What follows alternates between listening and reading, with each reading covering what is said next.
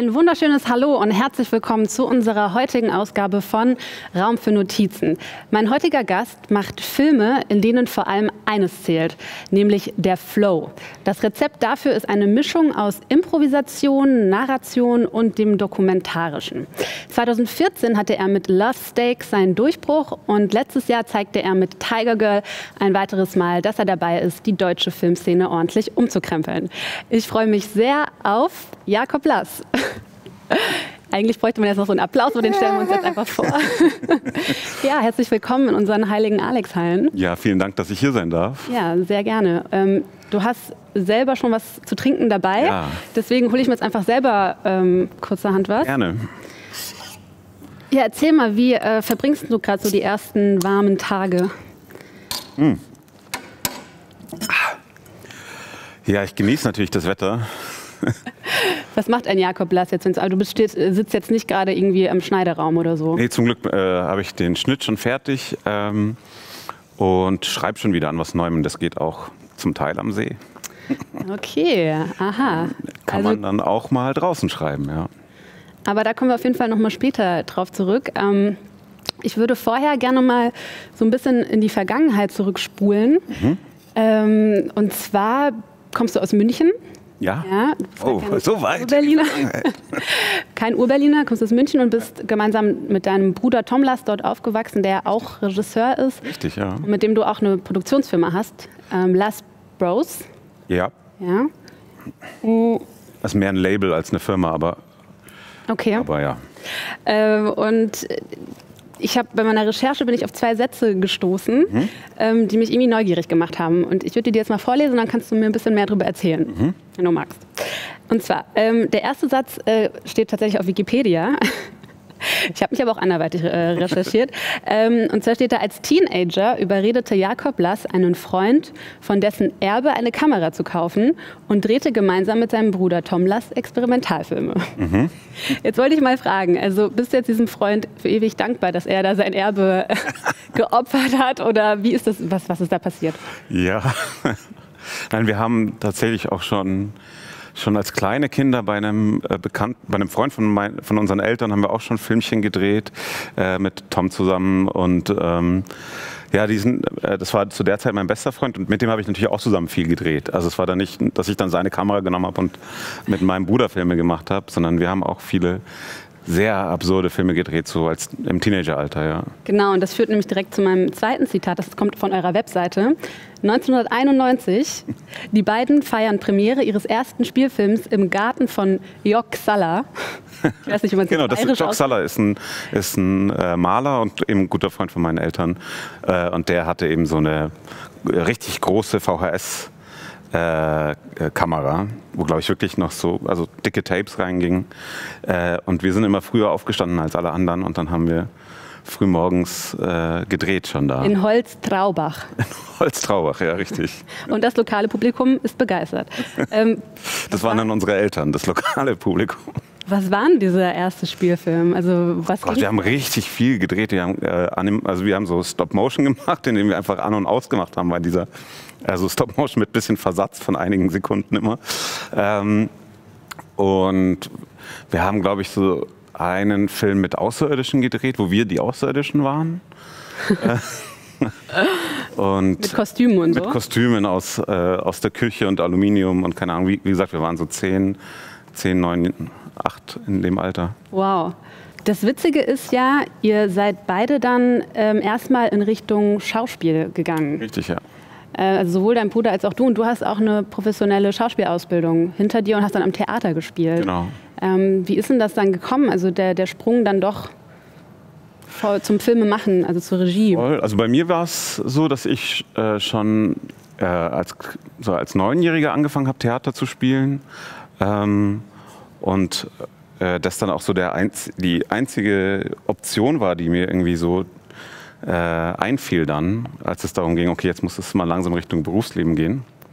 Äh, und dann habe ich das relativ früh gemacht. Also ich habe kein Abitur gemacht, sondern bin direkt auf die Schauspielschule gegangen mit 17.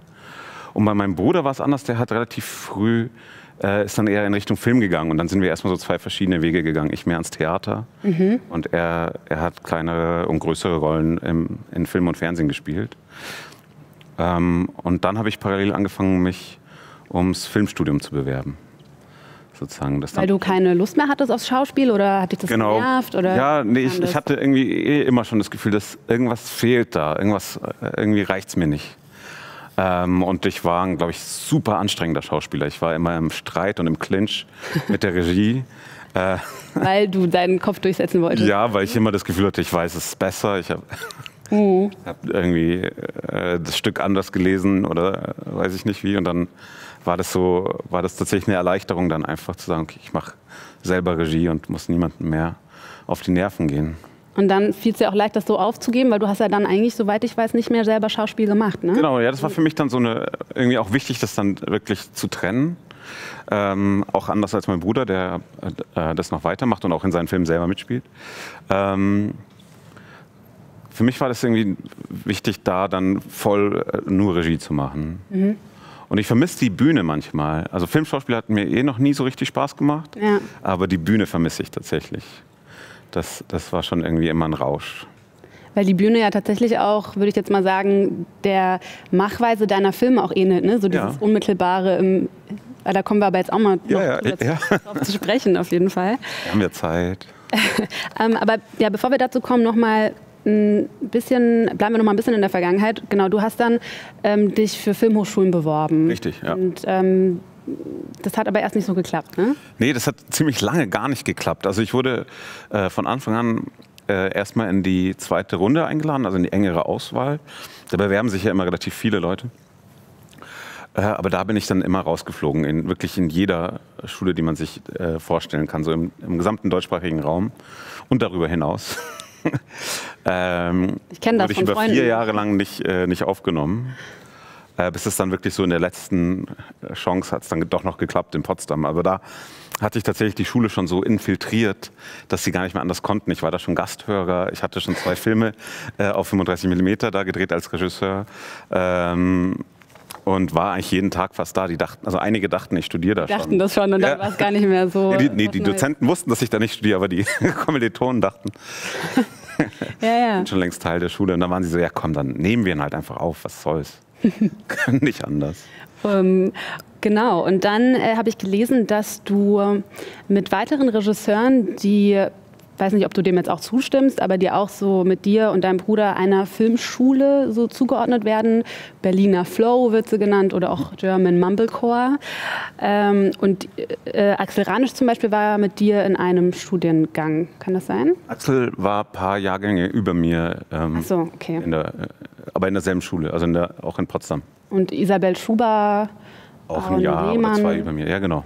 Genau. Ähm, jetzt würde mich mal interessieren, also vielleicht kannst du ein bisschen von dieser Zeit erzählen. Also habt ihr euch gegenseitig beeinflusst? Ist diese Schule, ähm, in der es ja viel um Improvisation geht, äh, ist die bewusst zustande gekommen oder hat jeder eigentlich so zu, durch Zufall das Gleiche gemacht? Ja, das ist, das ist natürlich schwer zu sagen. Also erstmal, was, was eindeutig ist, der Name kommt von außen, der ist nicht von, also beide dieser Namen, wobei ich Berliner Flow noch besser finde als German Mumblecore weil Mumblecore ja eine Bewegung ist, die es in den USA äh, mhm. gibt und gab, ähm, mit der, die, die, mir überhaupt nie bekannt war.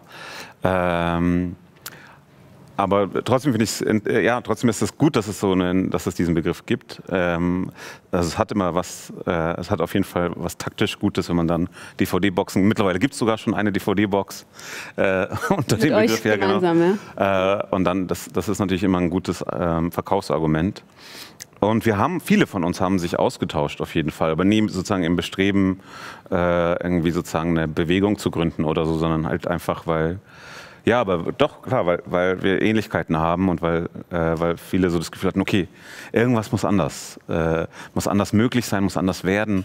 Ähm, man will sich nicht an, an, den Konventionen orientieren, sondern es gibt, ähm, gibt ganz andere Wege und eigene Wege. Hattet ihr ein bewusstes äh, Vorbild als Bewegung? Weil es gab ja zum Beispiel in der Vergangenheit auch Filmbewegungen, die so, ähm, weiß ich, Nouvelle Vague zum Beispiel. Ja. Habt ihr euch da bewusst irgendwie an was orientiert?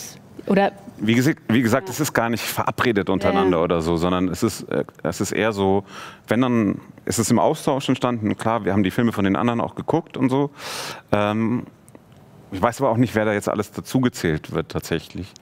Äh, von daher, ähm, klar, für mich war natürlich mein Bruder immer der, der Wichtigste und wir also sozusagen, wir haben uns am stärksten beeinflusst, so als, als äh, starke Unterstützer und Konkurrenten gleichzeitig. Ja, ist das so? Also, weil das habe ich mich auch gefragt. Ähm, Nein, es wie ist mehr, hält sich das die Waage? Oder? Das hält sich total die Waage äh, und es ist mehr Unterstützung als, als Konkurrenz. Aber ich glaube, alle Geschwister werden zustimmen, dass da immer was ist, oder? Zwischen Geschwistern. Ich weiß nicht, ob du Geschwister hast. ja, ich habe, ja, ich hab, aber die ist elf Jahre älter. Also Okay, das ist dann vielleicht schon so weit weg, dass dann Genau. dass das Verhältnis wieder anders Und wir wird. machen halt auch nicht das Gleiche. Also ihr macht Ja, ja, wirklich auffälligerweise wirklich das Gleiche. Ihr Voll. macht Filme und seid Voll. Schauspieler eigentlich auch. Ja. Wobei eure Filme sich ja schon auch, ähm, obwohl die die gleiche Machart haben ähm, oder ja, Ja. Äh, unterscheiden sie sich ja natürlich. Denke ich Ähm, auch. Also das wäre dann natürlich noch eine Stufe krasser, Ja. wenn die dann auch noch teilgleich wären. Ja. Aber ja, und aber ansonsten so in mit den anderen, also sag ich jetzt mal Ranisch, äh, Axel Ranisch zum Beispiel, also äh, trefft ihr euch da manchmal und tauscht ihr euch aus, wie man sich das jetzt auch so in so einer Bewegung Das wäre vorstellt? schön. Ich, das wäre schön. Ich würde das willkommen heißen. Wir haben uns jetzt äh, schon lange nicht mehr gesehen. Also ich habe Axel jetzt auch schon wieder ein paar Monate nicht gesehen. Mhm. Ist ja auch schwierig, weil alle wirklich so viel äh, unterwegs sind, so viel machen die ganze Zeit. Aber ich finde das gut und ich tausche mich grundsätzlich total gerne mit Kollegen aus. Und also bin immer im Austausch, aber auch nicht im, innerhalb so jetzt so einer geschlossenen Gruppe. Ähm, wir würden jetzt mal zu deiner Notiz kommen. Gerne. Äh, und zwar hole ich jetzt mal hier so einen Dart-Fall. Und dann kommst du mal mit kurz. Gerne. Und dann würde ich dich bitten, die an unsere Scheibe zu, ähm, also erstmal mit dem Dartpfeil sozusagen zu zielen, Mhm. ähm, aber bitte nicht auf die Mitte, weil da ist eine Kamera, genau. Und dann Okay. ähm, hin- nachhinein tun wir da die Notiz dran. Sicher, ich treffe die Kamera. So. Ah, okay, da oben, alles Oh. klar. Dann schauen wir erst noch mal kurz drauf, ähm, und zwar Flow. Ja, genau. Und magst du selber verewigen? Oppa, Da oben. da war es, glaube ich. Ja, cool. Flow, ähm, erzähl mal, was, was steckt dahinter? Flow, naja, wir haben tatsächlich äh, zwischen Frontalwatte und Love Steaks ähm, äh, super viel geredet. Wir haben uns ähm, mit der damaligen Produzentin und dem Kameramann äh, zusammengetan und äh, sehr viel gesprochen und nachgedacht übers Filmemachen und über wie Frontalwatte entstanden ist. Also dein erster Langfilm? Mein erster Langfilm, genau. den du an der- Filmhochschule gemacht Genau, am, äh, im ersten Jahr der Filmhochschule. Ähm, und wie, wie der nächste werden soll im Unterschied. Und vor allen Dingen ging es auch darum, dass, es, dass äh, ich gefragt wurde, ja, das muss doch mega viel Spaß gemacht haben, Frontalwatte zu drehen, so wie der aussieht. Ja? Und ich habe gesagt, so, nee, eigentlich nicht, eigentlich war es die Hölle. Ähm, und dann haben wir halt überlegt, wie kann Filme machen mehr Spaß machen? Und von dort sind wir dahin gekommen, okay, Spaß ist überhaupt nicht das, was wir suchen, sondern wir suchen Flow sondern ne, wir suchen diesen Zustand äh, genau zwischen Über- und Unterforderung, wo deine Fähigkeiten genau auf die Herausforderung treffen, wo, wo du eben äh, auf dem richtigen Level bist und was, da, was dann Rauschzustand sein kann, wie auf der Bühne sein. Ähm, und, oder es gibt es beim Klettern, beim Schachspielen, beim Computerspielen. Willst du wieder setzen? Gerne, ja. Äh, Flow ist sozusagen ein Zustand, den es überall gibt, ähm, der aber äh, gar nicht so leicht zu erreichen ist.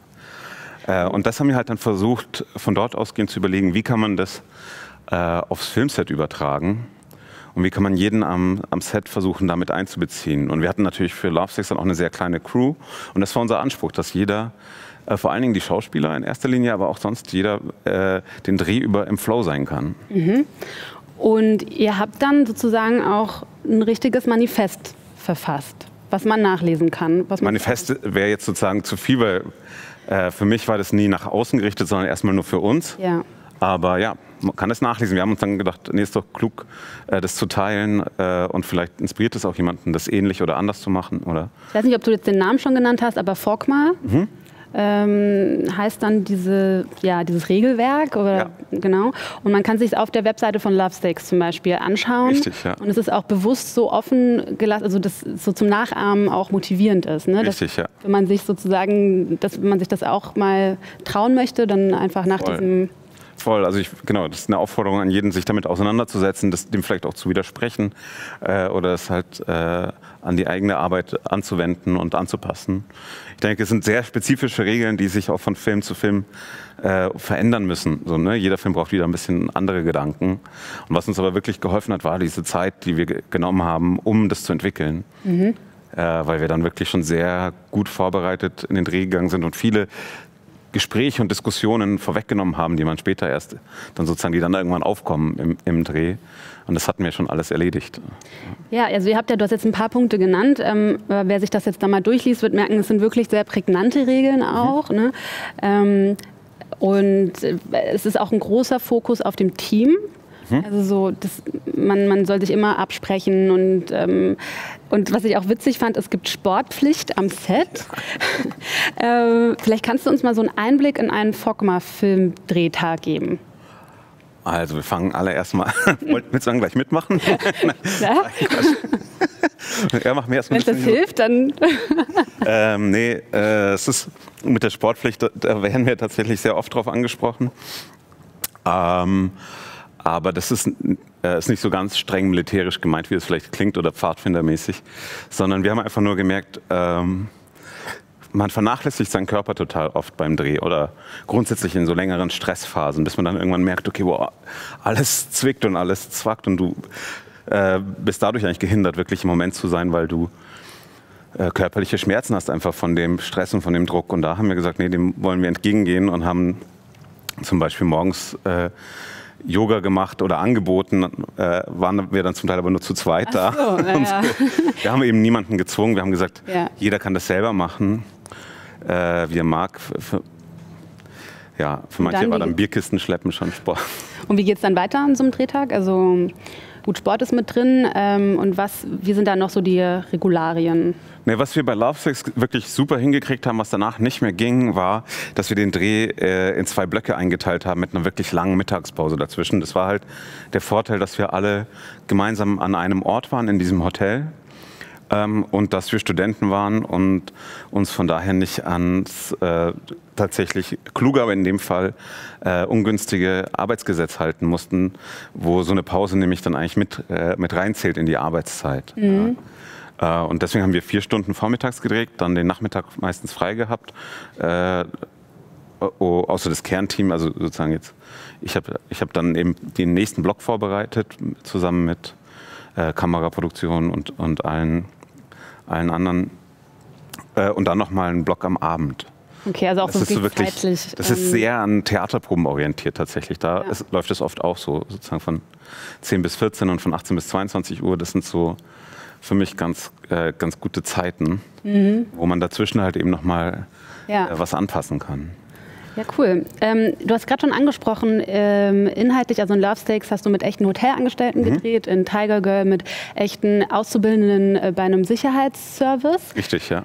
Ähm, ist es so ein Anliegen für dich, auch so un unsichtbare Berufsgruppen irgendwie eine Plattform zu bieten? Um Voll, also ja, kein bewusstes Anliegen, aber es hat mich immer interessiert. Also mich hat das schon gereizt, auch so diese sehr dann doch relativ hierarchische Umgebungen, ähm, sozusagen mit einer sehr strengen Hierarchie ähm, und dann auch, also äh, Sicherheits, das Sicherheitsgewerbe ist relativ prekär.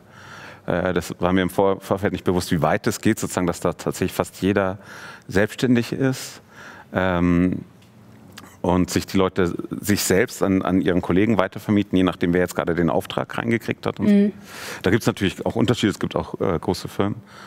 Ähm, das fand ich schon sauspannend. Finde ich auch wirklich, finde ich bis heute noch sehr interessant. Ja.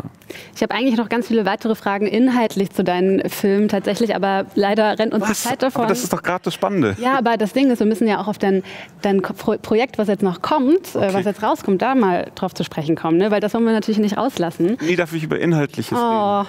Vielleicht, vielleicht kriegen wir es noch reingedrückt. Okay. Aber, ich rede schneller ähm, ab jetzt. Sowas von da. Ja. Ähm, das ist der nächste Film, der rauskommt. Richtig. Äh, Im August, ne? Ja. Erzähl mal, um was geht es? Und dann kannst du direkt noch erklären, äh, was ist eine, die erste improvisierte ah. Romanverfilmung, Adaption? Genau, das, das, äh, das fasst es schon ganz gut zusammen. Sowas von da ist ein Roman von Tino Hanekamp, ein Hamburger Clubbetreiber, der da so teils autobiografisch, teils einfach auf seine Erfahrungen aufbauend äh, eine Geschichte über einen Club geschrieben hat, der schließen muss. Ähm, und das haben wir improvisativ umgesetzt. Ähm, das heißt, wir haben uns ähm, teils an den Roman gehalten, haben aber auch wirkliche Partys äh, gefeiert in Hamburg, haben einen eigenen Club übernommen für die Zeit. Vier Stück, ne? Vier Partys. Vier ihr. Nächte haben wir gefeiert, ja. Ähm, und, ähm, und dadurch versucht sozusagen vor allen Dingen den Spirit des, äh, des Buches und, äh, zu transportieren in den Film. Und äh, ja, wie, wie hat das geklappt? Also wirklich, ich stelle mir das auch ein bisschen schwierig vor, Partys dann zu drehen. War das dann nicht ein totales Chaos? So? Ach, äh, für mich eigentlich war es fast zu gesittet. Ich meine, man vergisst manchmal auch, dass die Hamburger halt natürlich auch ein bisschen brauchen, um warm zu werden. Ne? Ich dachte so, es wurde dann immer noch äh, wild, aber, aber in, in Berlin wäre es, glaube ich, äh, schneller wild geworden. So, ne? Es war eigentlich zu wenig Chaos für meinen Geschmack. Ja? Ja. ja aber im Film sieht man das nicht. Der Film ist, glaube ich, relativ äh, chaotisch. Okay. Ja gut, dann wollen wir jetzt mal nicht mehr verraten, ja. oder? Das heißt, im August kann man sich den dann ähm, anschauen in den Kinos, genau, wie machst du das? Weil bei Love, Steak gab's ja, äh, Love Steaks gab es ja diese Debatte damals, weil du es im Kino ja. und im Netz veröffentlicht wolltest. Richtig. Und das hat damals aber nicht so geklappt. Das hat leider nicht geklappt, ja. Ähm, wie machst du das mittlerweile? Also, äh, da hat sich leider nichts geändert. Ich meine, äh, der Punkt ist, dass die Kinos ähm, Angst haben um, um ihren Verdienst in, ähm, in, in, dem Modell, was genau, aber das war, was wir versucht haben. Wir haben versucht, ein Modell zu bauen, wo die Kinos dann daran mitverdienen. Daran glaube ich auch immer noch. Ich glaube immer noch, dass das äh, Potenzial hätte und es wäre immer noch nicht zu spät, so etwas zu gründen. Weil ich glaube auch, ob man es möchte oder nicht, ich glaube, dass tatsächlich irgendwann das kippen wird. Also irgendwann werden diese Fenster, also die, es ist sozusagen ja ein, ähm, ist ja ein gewisser Schutz, der dem Kino jetzt eingeräumt wird durchs Gesetz, mhm. dass das nicht passieren darf, sondern dass, dass gewisse Fenster eingehalten werden müssen. Und ich befürchte, dass das irgendwann ähm, einfach kippen wird. Und ich glaube, es wäre besser, sozusagen das selber in die Hand zu nehmen als Kino, sozusagen als Kinobetreiber, äh, äh, die sich zusammentun äh, und davon zu profitieren, mhm. statt sozusagen abzuwarten, bis es eh passiert. Okay, also du befürchtest, befürchtest es, aber du befürwortest es jetzt nicht unbedingt, beziehungsweise... Nein, ich, ich ähm, doch, ich befürworte das ja? total. Ich, äh, von, aus, der, aus der Zuschauerperspektive macht es ja nur Sinn, dass man sagt, ich möchte selber entscheiden, wo ich den Film gucke und will den dann gucken. Und auch als Filmemacherperspektive ist es so, der Film wird ja einmal beworben, hat einmal seine Welle. Äh, und dann, äh, bevor er dann äh, im Internet rauskommen kann, dauert es einfach Ewigkeiten und äh, er ist schon wieder vergessen. Aber so ja. das Kino als heilige Institution siehst du dann nicht. Also das ist, hast du nicht Angst ums Kino? Nee, im Gegenteil. Ich denke, dass, dass also sozusagen, was wir vorgeschlagen haben, war, dass das Kino das auf ihren eigenen, dass sie das auf ihren eigenen Webseiten präsentieren äh, und dass man sozusagen direkt sein Kino unterstützt damit. Und aber auch, dass man, was ich denke, was dadurch passiert und was, was auch das Kino heute noch mehr machen muss, dass man dadurch eine Verbindung behält zu seinem äh, persönlichen Kino, wo man sagt, hey, die haben eh einen super Filmgeschmack. Äh, ich gucke mir an das, was die ausgesucht haben. Äh, und das ist auch mit ein Grund, warum ich in genau dieses Kino gehe, weil äh, mir das gefällt, wie die die Filme aussuchen. Und ich finde absolut, äh, Filme sind am besten im Kino. Da gibt es überhaupt gar keinen Zweifel. Ich auch. So, auf jeden Fall. Ich gucke auch am allerliebsten Filme in einem richtig guten Saal mit Sound und mit fremden Leuten um mich herum. Das ist einfach eine ganz andere Wirkung. Aber ähm, ist doch schade, wenn, wenn äh, Filme dann nur da äh, sichtbar sind und, und nicht ähm, äh, für, für alle Leute, die jetzt Babys haben, die es nicht schaffen, zum Kino zu kommen, äh, die keine Zeit haben. Äh, und es kommt ja auch relativ viel, äh, viele Filme raus. Mhm. Und da wäre es doch eigentlich schöner, wenn man sagt, okay, die sind trotzdem verfügbar und man kann, man kann darüber reden und es holt vielleicht auch mehr Leute ins Kino. Ja. Wenn es eine Mundpropaganda gibt für einen Film, der besonders gut ist. So, das, das wäre so halt meine Hoffnung dahinter. Also du bist einfach so für, dass man einfach die Optionen hat sozusagen. Voll, oder das, ja genau, dass sich auch jeder Film das aussuchen kann. Ja. Denke ich. Und, aber ich liebe das Kino und ich glaube nicht, dass das dem Kino schaden wird. Sonst würde ich das nicht vorschlagen. Ähm, okay, äh, wir müssen jetzt auch so langsam zum Schluss kommen, aber meine letzte Frage wäre, ähm, weil wir haben ja noch ein kleines Spiel, aber vorher noch die Frage, kannst du dir vorstellen, dich auch von diesem Fogma-Prinzip ähm, loszumachen und was, oder hast du manchmal Lust, was ganz anderes zu machen?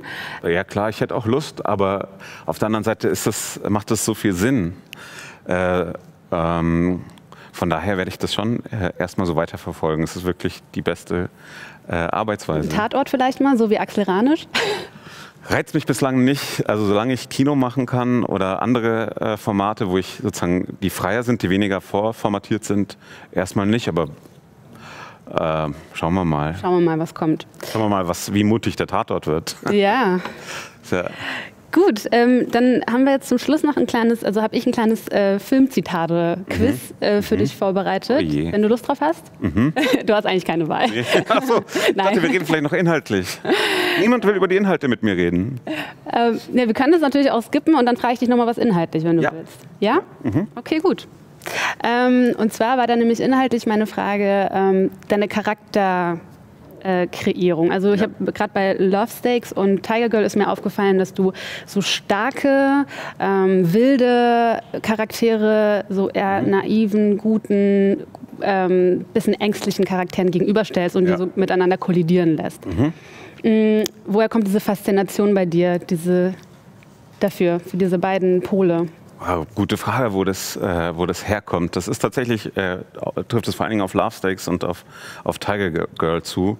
Äh, ist das eine Dynamik, die mich sehr interessiert, wo ich finde, da ist, so, da ist sehr viel äh, Potenzial drin. Einfach in so sehr, in so, wie ich es nennen würde, ungleichen Freundschaften, ja, die äh, eben nicht wie die meisten Freundschaften irgendwo auf Augenhöhe sind, sondern wo sich sozusagen äh, so das Gefälle auch irgendwo verschiebt. Und es sind auch Frauen in beiden Fällen, diese wilden, starken, mutigen. Ne? Ja. Das ist auch nochmal.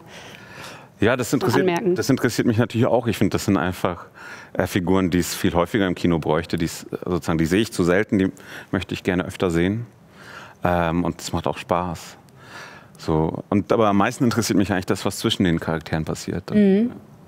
Und wo, wo würdest du dich verorten zwischen den beiden Polen? Ah ja, das, ich habe beides total in mir, glaube ich. Ich habe tatsächlich, glaube ich, beides so, äh, so in mir. Ich habe eine total schüchterne Seite. Ähm, und habe beides, ich denke, beides auch erlebt schon in, in Freundschaften irgendwie so. Aber ne, selten so extrem, wie es dann im Film ist. Ja, man aber, bekommt ja dann auch Lust, sich so ja. mitreißen zu lassen oder auch mal so jemanden zu treffen. Irgendwie. Voll, also, ja. Mir auf. ja, ja. Ja. Voll. Und ähm, wie ist es mit den, mit den Gewaltszenen? Mhm. Also da hast du ja auch zum Beispiel bei Love Stakes am Ende so eine sehr explizite ja. Gewaltszene und bei Tiger Girl auch so diese Kung-Fu-artigen. Ähm, hast du da auch ein spezielles Interesse einfach dafür oder was begeistert dich daran?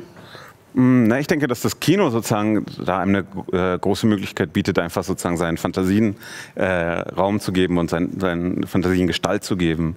Äh, und in Love Sex ist es eher so ein bisschen eine Überhöhung oder äh, sozusagen so eine, eine Fortführung der, der, Handlung auf einer anderen Ebene. Äh, und bei Tiger Girl war es eher sozusagen der Versuch, wie kann man das in einem Film kombinieren? Also wie mhm. kann, kann man gleichzeitig sozusagen improvisativ dokumentarisch sein und dann trotzdem wirklich sehr stilisierte äh, Kämpfe haben. Also ich bin auf jeden Fall gespannt, wie es dann in sowas von da sein wird. Zu Recht. ähm, genau, aber wir haben jetzt leider keine Zeit mehr für weitere Fragen. Ich hoffe, du kommst nochmal zu Bestimmt. uns. Sehr ja, gerne. Ähm, vielleicht dann nochmal bei dem nächsten Projekt oder vielleicht deinem Bruder mal, wenn er Lust ja, hat. Ja, gerne. Ähm, nochmal für alle Zuschauerinnen und Zuschauer sowas von da im wann? Im August, 16. Genau. August, glaube ich. Aber schaut lieber nochmal nach. Genau, nochmal noch mal abchecken. Und dann sage ich vielen Dank, Jakob, dass du bei uns warst. Vielen Dank an alle Zuschauerinnen und Zuschauer vor den Bildschirmen. Falls ihr gerade merkt, ah, Mist, äh, Sendung verpasst, dann äh, schaut einfach auf unserem YouTube- oder Facebook-Kanal nach und schaut euch nochmal die Sendung an. Bis zum nächsten Mal. Ciao.